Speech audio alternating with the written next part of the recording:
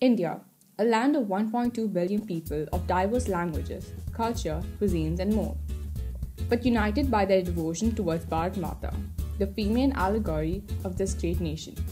It is a nation of rich cultural history and traditions.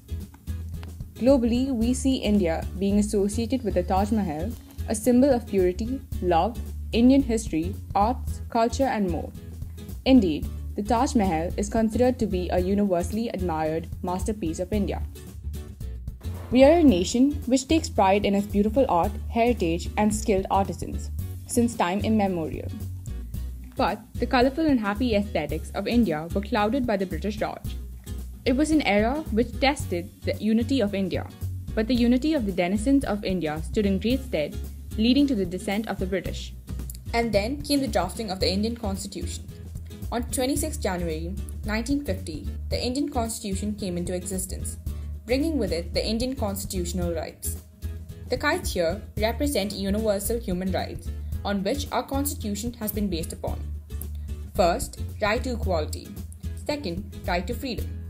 Third, right against exploitation. Fourth, right to freedom of religion.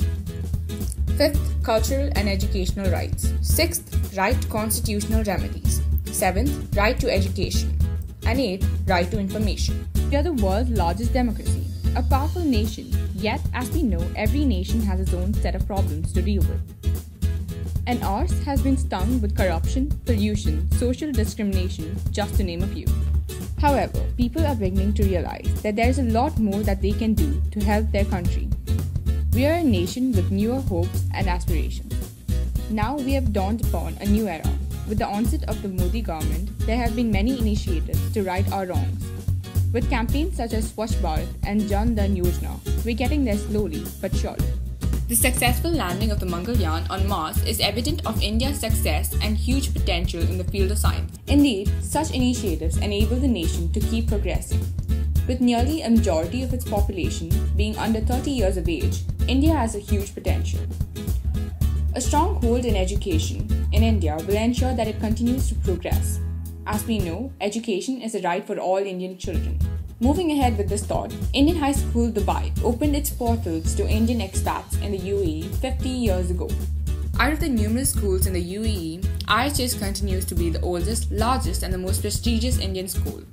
It has been accredited as an outstanding educational institution, and it continues to create future leaders of tomorrow.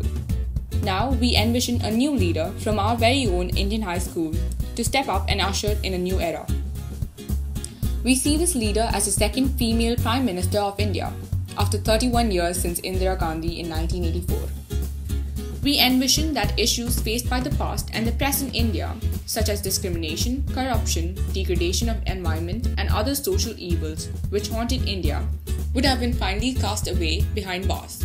It is the dawn of a new day and newer aspirations for a brighter tomorrow.